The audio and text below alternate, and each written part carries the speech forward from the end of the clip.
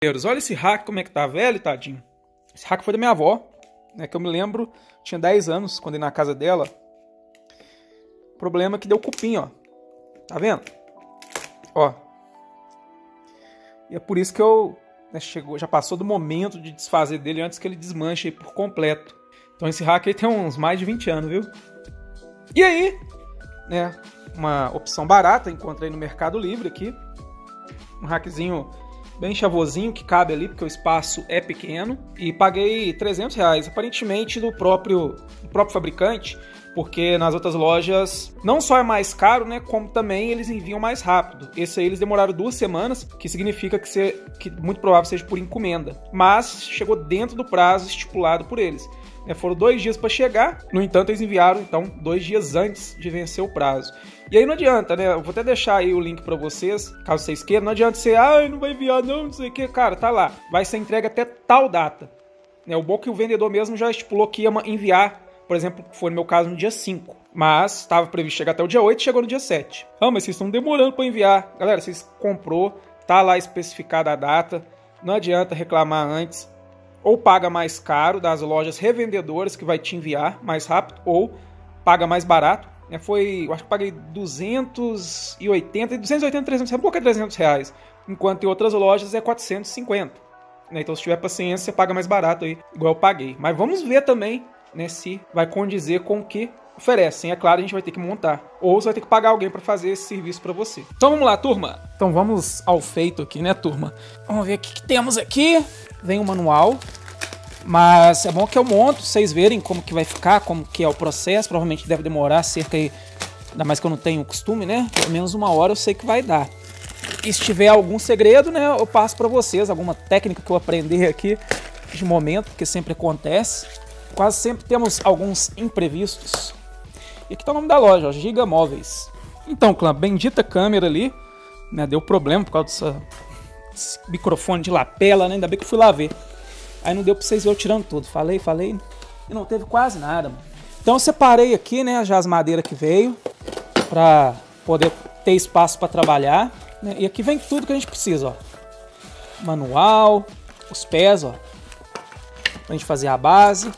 Aqui as chapas para serem parafusadas e reforçadas.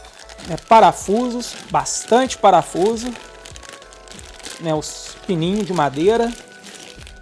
E aqui o manual com todas as informações ó, de como fazer a montagem. Vou mostrar para vocês. Aí, ó, bem simplificado. Né, para quem nunca montou nada, eu já até fiz algumas coisas com madeira, inclusive um, meu, um dos meus primeiros vídeos do canal, um cockpit que fiz de pallet. Aí eu já fiz várias mirabolância com pallet, mesa, prateleira, minha prateleira ali, ó, o nicho que eu tenho ali foi eu que fiz também.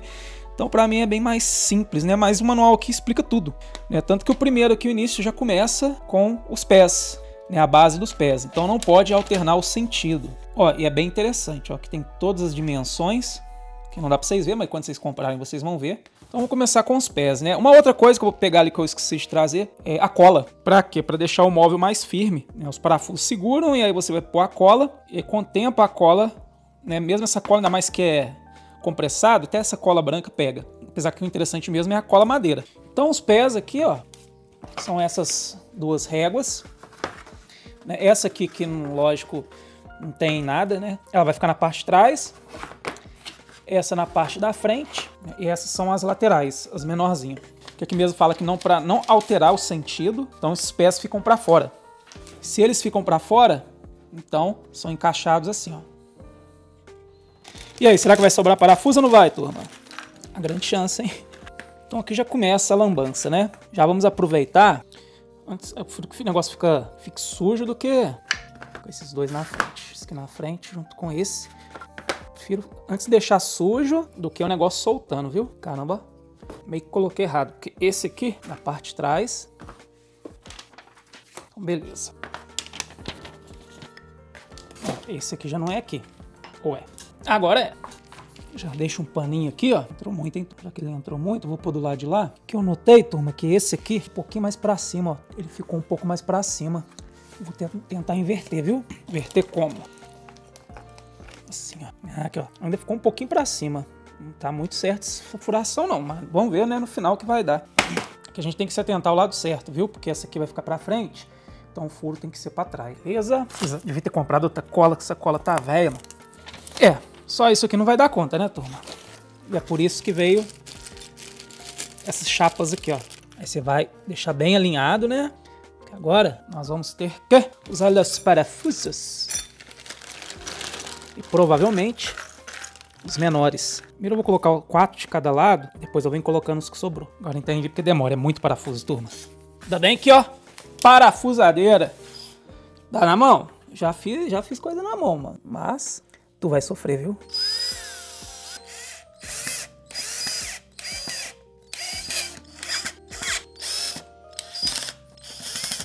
Então, galera, dos quatro cantos você vai fazer isso, beleza? Vou cortar aqui, porque senão né, o vídeo não vai dar, cara. O celular não tem espaço para isso tudo. Então, meus guerreiros, já coloquei a chapinha ali, né, com os oito parafusos em cada, cada um. Agora, nós temos que colocar, essa aqui é a parte superior, né, em cima da chapa, que aparentemente, né, a parte da frente é a que tem o acabamento, e a de trás não tem. E aqui, ó, tá a chapinha, ó, de todos os quatro lados. Agora, fica assim, ó. A gente vem aqui, ó, e vai ter que colocar... Só que aqui é que mora o perigo, né? Porque tá sem o guia. Era pra ter o furo do guia aqui, velho. Não tem. E aí, né, se eu não colocar, se eu não fizer esse furo do guia, não vai ficar centralizado. Agora eu vou ter que vir aqui, infelizmente, medir. Que maravilha, hein? Maravilha isso. É, imaginei, sempre, esse negócio sempre acontece. Esqueceram do furo guia. Top demais. E aí agora eu vou ter que usar régua, né? Pra centralizar isso. Que jossa. É, dá pra montar o negócio, né? Eu queria que fosse mais fácil. Vamos pegar lápis e régua, caneta, sei lá. Vamos ver. A gente vai ter que dar a mesma distância. Pros dois lados. E aí é que tá. Vamos ver quanto que tá aqui. 9. E aqui, 13. 9 com 13, 22, né? Se é 22, então a gente tem 11 centímetros para cada lado. Então vamos colocar aqui 11, centralizar, né? Acho que é bom pegar uma um óculos, né? 11 aqui, 11 aqui. Vamos ver ali do outro lado. Então é on... na realidade eu errei, mano, é 11,5. Tem que ser 11,5 para cada lado. 11,5 aqui, 11,5 aqui. Então aqui tá certo, ó. Tá fazendo uma linha já, eu sei que essa tá certo. Agora vamos ver o lado de lá. Ó, 11,5 aqui e 11,5. Agora tá certo. Essa linha aqui, ó. Só que a centralização também tem que ser dessa parte, né? Como que a gente faz isso? Vamos ver a medida que tá dando aqui. 2.2 com 1.3, 2, 2, 1, 3, 4. Então são 2 centímetros. Deve dar um para cada lado. Vou conferir. Um e meio um e-mail para cá, um e-mail para lá, dá um pouco mais, viu? É, 1.8, isso mesmo. Agora tá certinho. E aí, turma, a gente tem que parafusar por dentro, ó. Como? São três chapinhas dessa aqui, ó, do lado de cá. Deixa eu marcar aqui também, né? Que sai do centro, a gente volta. Três para cá, três para lá, quatro nas partes maiores. Ao menos era para ser, né? Ou vai acabando sendo três também para cá, hein? Uma, duas, três. Bem, no manual mostra quatro. Às vezes tem dois perdidos por aqui, né? A não ser se for dois para lá e quatro para o meio. Vamos confirmar? Não, eu que errei. É dois. Dois para as lateral e quatro. Então é dois para cá, quatro aqui, quatro aqui. E agora, los parafusos, que são os menorzinhos. Pegando todo que a gente vê aqui, vamos colocar. E eu, lógico, eu não vou mostrar colocando todos, turma, mas eu vou colocar só esses primeiros aqui. Eu não vou medir com régua não, viu? Vai ser no olhômetro mesmo, que vai ficar embaixo. Beleza. Aí é assim, ó. Vou colocar só dois de cada lado. Pra quê? Pra servir de guia, né? Depois a gente põe o resto. Aí saiu um pouco da linha ali, mas a gente foi e acertou. Né? Por isso que eu fiz o desenho. Ó, estou suando, hein? Não tô nem na metade. Mas eu acho que a parte mais chata é tudo. Sabe aquela economia que você faz na hora de instalar? Então é isso, é o trabalho, mano. Você paga alguém pra fazer, porque nada é de graça. Nem o pão, nem a cachaça. Caralho, tem parte da madeira que é muito dura, tem parte que não é. Pronto.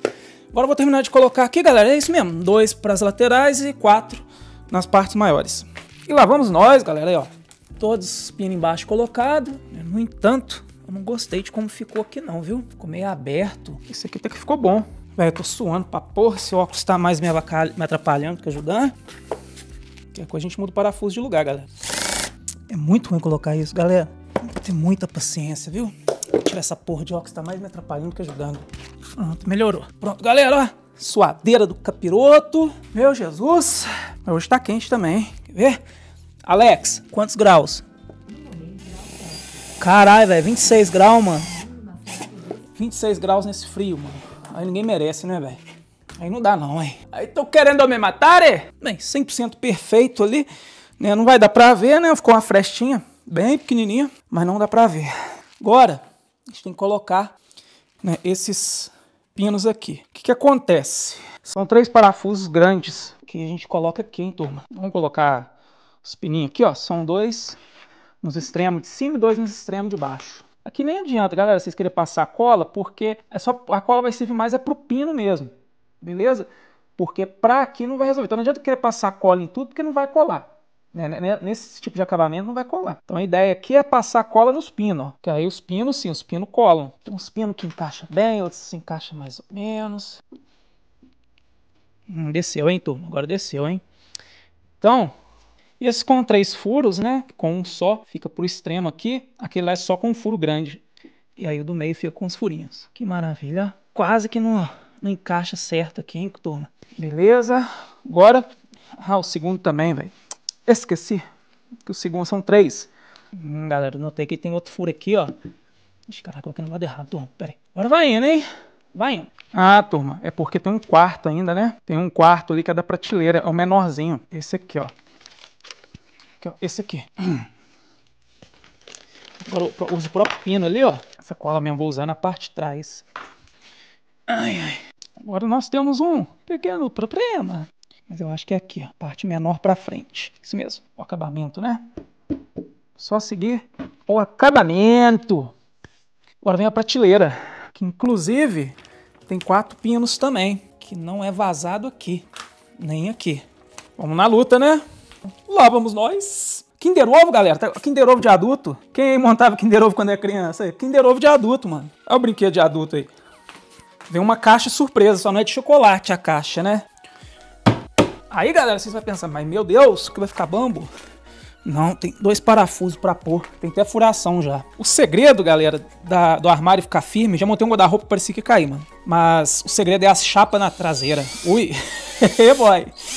Mas sério mesmo. Aquela chapinha de metal, quando você prega atrás, reforça tudo, cara. É impressionante. Vocês vão ver. Vou colocar agora a parte de cima, vocês vão entender o que eu tô falando. Essa parte de cima é pesada, hein? Bem pesada. Desculpa não ter o melhor posicionamento de câmera, galera, mas é porque aqui é muito pequeno mesmo. Por isso que eu não tenho o quarto game aqui, a sala, tentando deixar ela mais aconchegante que eu posso. E aí, ó, nós temos que colocar esses três parafusos. Vou deitar. Vou ter que deitar. Deitar essa bagaça aqui, viu?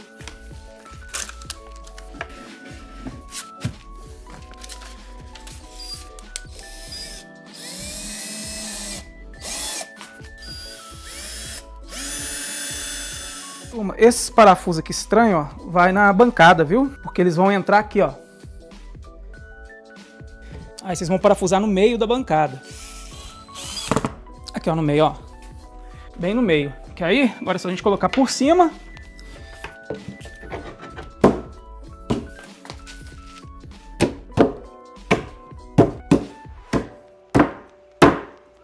Tem que socar bem, se o negócio não descer, não encaixa, hein? E agora faz sentido os plásticos, ó. Por que, que tem uns plásticos aqui, ó? Inclusive vem três. Ele serve justamente para travar esses parafusos. Na verdade não é plástico, são essas travinhas de metal, ó. Pronto. Galera, não lembro se eu falei anteriormente, né? Talvez eu tenha falado, cortado aí, mas já repito aqui de novo, ó. Você vai pegar aqui, ó. Você vai, nossa, tá, tá bambo ainda. Por quê? Porque o que trava, o que faz o, a finalização de ficar firme é justamente essas chapinhas. Porque eu nem gosto de cortar elas, tem gente que deixa um buraco atrás, às vezes quer colocar o PlayStation 5 embaixo. Mas Vou até virar. Mas o que vai prender mesmo vai ser isso, ó. Na hora que você colocar todos os pregos, inclusive tem que ficar bem aqui no meio, ó. Vai vir uma chapa aqui. Na hora que você colocar todos os pregos aqui, nessa e na de cima, acabou, mano. Vai ficar firme.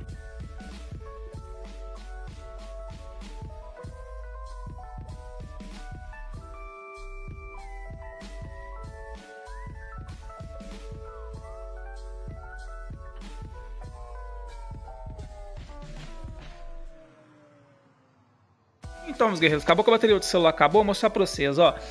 O certo, certo mesmo, né, que deveria ser, era isso aqui, ficar bem centralizado.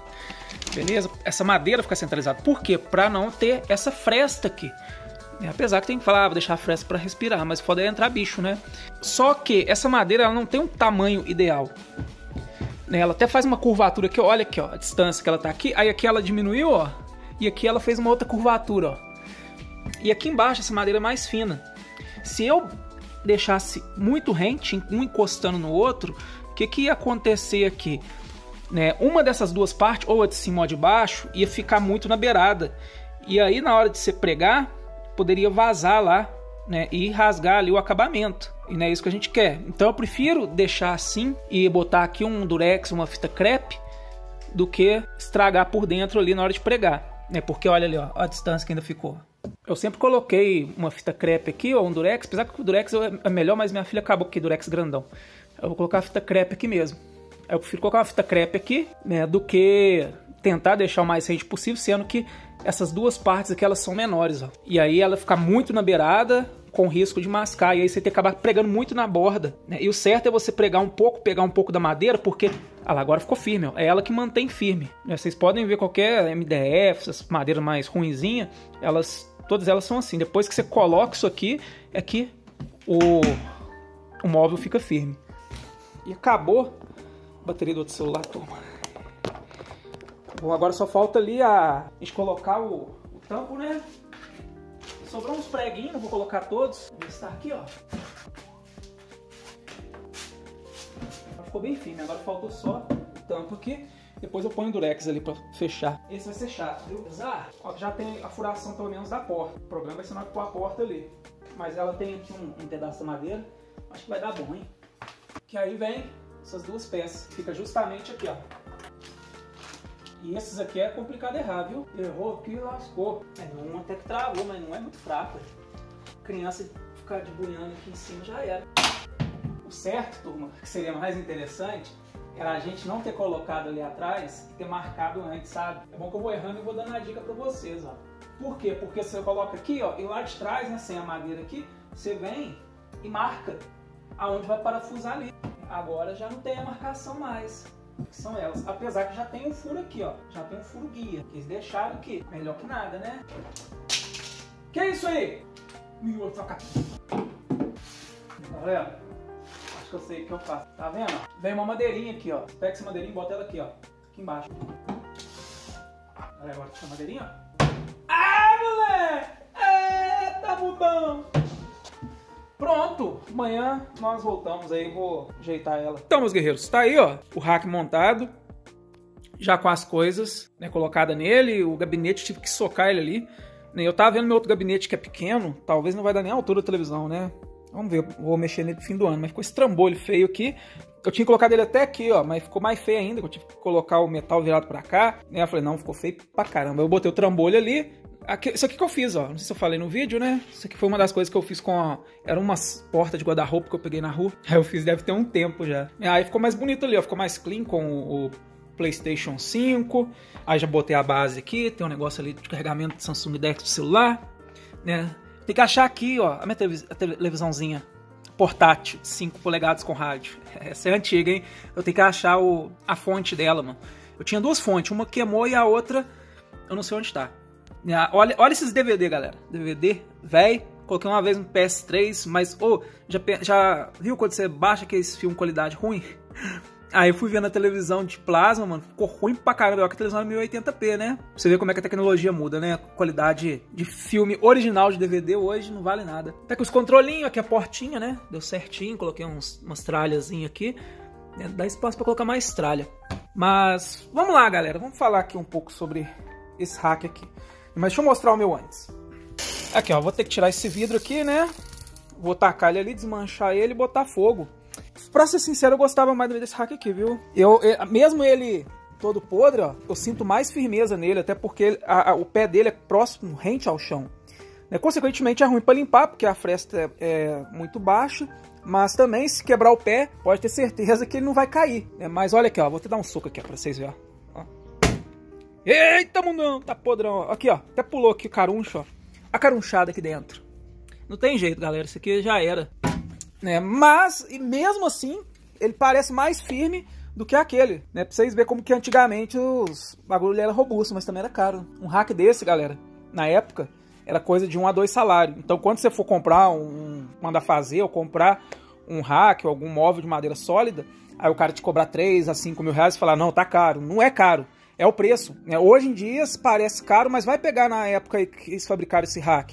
Né? Madeira aqui, ó, essa madeira, já, o tanto de água, mancha de, de material de limpeza, né, com o tempo, olha embaixo, ó, marca e não estufou nem nada, né? O que comeu que mesmo foi o cupim, né? Já esse aqui, galera, ah, moleque, já não achei firme, né? Ó, aqui embaixo, ó, olha para vocês verem, depois que eu depois que eu coloquei ele, ele deu uma leve aberturazinha aqui, ó, que eu fui até ver o manual, né? Que inclusive eu vi um outro vídeo no YouTube e os pés não tava dessa forma. Eu não sei se o outro modelo, os pés é virado, né? Mas vamos ver aqui o manual bem específico nessa parte aqui, ó. Estão vendo, ó? Os pés para fora, e para fora nas laterais. Né? E lê aqui, vamos ler as instruções aqui no 2, ó. Não alterar o sentido dos pés. Fixar cada cantoneira com oito parafusos. Então, tá certo. Antes de que alguém falou, oh, botou o pé errado, não tá. Se colocar ele para cá, ele, esse pé vai ultrapassar essa madeira aqui de baixo, ó. Vai ficar para fora.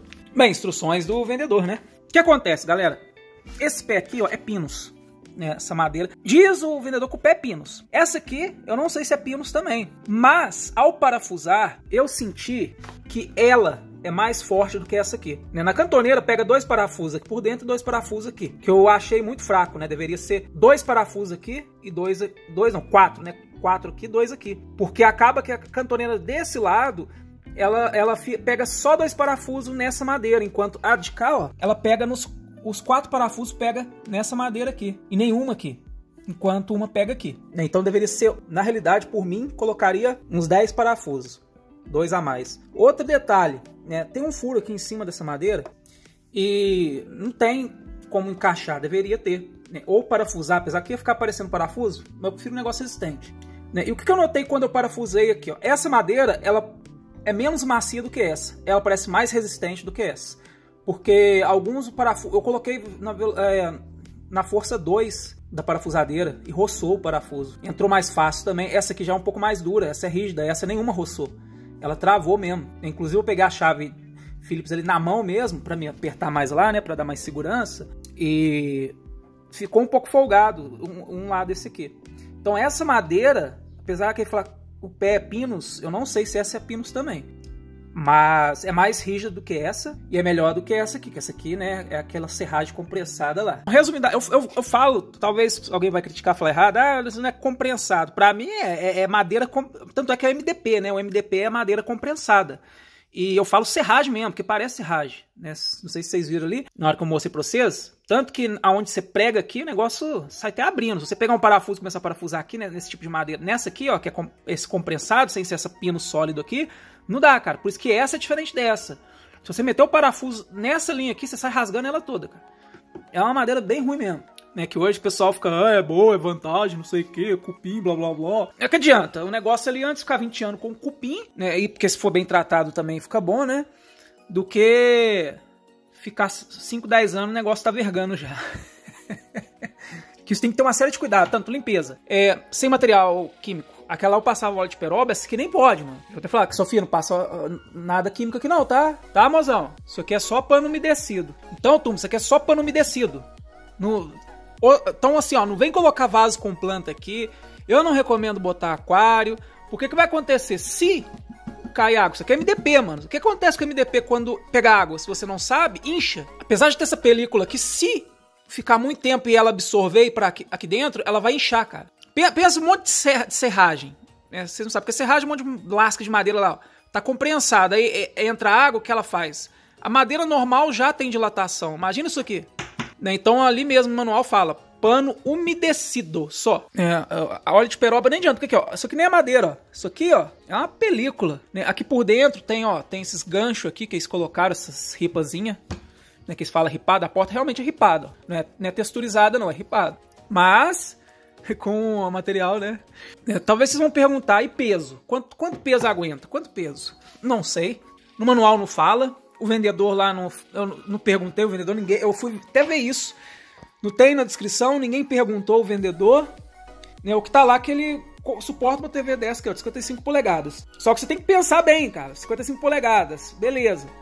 É, mas são vários pesos. É, essa pesa 10 e 700. A minha de plasma ali de 42 pesa 20, 22 quilos. Pela resistência que a gente já vê ali, quando a gente monta, eu chutaria, né, que assim, arrebentamos 40 quilos, pode até suportar. Mas eu não arriscaria, não. Eu, pela resistência que eu vi, mexi nela ali, né, eu até daria pra colocar essa televisão aqui, deixar o Playstation, que esse Playstation acho que é uns 6 kg, a TV essa aqui é 10,700, né, uns 25 kg a 30 assim no máximo. Né, eu até colocar a televisão eu tenho um pouco assim de receio, porque é, aqui em casa não, porque a gente não tem uma, a minha criança já tá grande, né?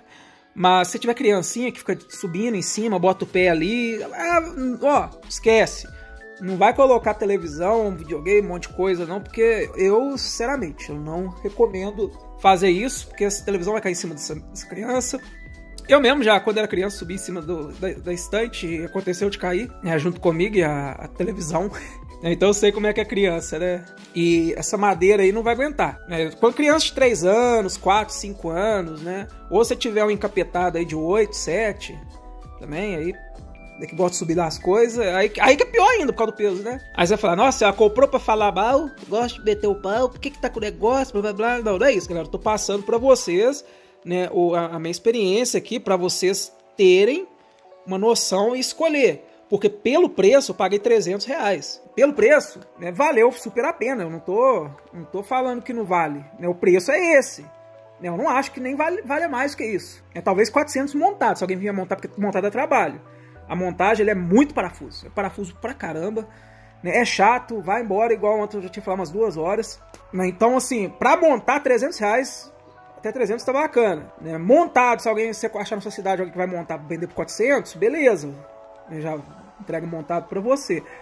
Né? É o preço. Só que a gente tem que se atentar em custo-benefício, né? Não tem como eu meter o pau nela e falar que ela é ruim negócio custando 300. Igual eu falei, aquele hack lá de fora lá, estante, antigamente era dois salários. Né? Eu não paguei, eu não paguei, eu não paguei nem meio salário, deu nem meio salário.